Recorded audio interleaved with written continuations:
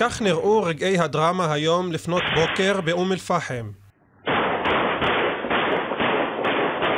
שני חמושים פותחים במרדף אחרי רכב אחר שבו נמצאים שני בני אדם. חמוש אחד פורק מהרכב, רודף רגלית אחרי עמרו מקלד ג'בארין ויורה בו למוות. החמוש השני יורד מהרכב חמוש בנשק אוטומטי מסוג M16 ומנסה להרוג את מי שהיה ברכב עם ג'בארין. שימו לב לשיח בין שני החמושים. מי שנסע עם ההרוג נשמע כמה שניות לאחר מכן זועק לעזרה.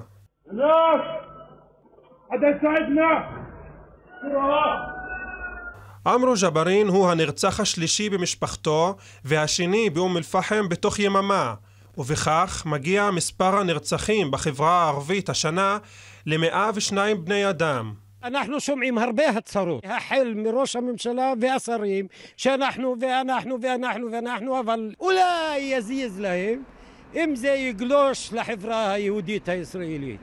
בתוך כך, היום התקיים דיון בוועדה לביטחון הפנים בכנסת על חלקים מתוכנית למיגור הפשיעה בחברה הערבית שחשפנו אתמול. אני מבין את כל הביקורת, היא מוצדקת לגבי החקיקה.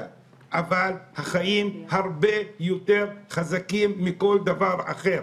אצלי הבית בוער, אני לא יכול לחשוב על הלוקסוס של זכויות אדם. הערה לשר עיסאווי פריג' לא ממקום גזעני, אלא ממקום דמוקרטי מגיע לערבים אזרחים.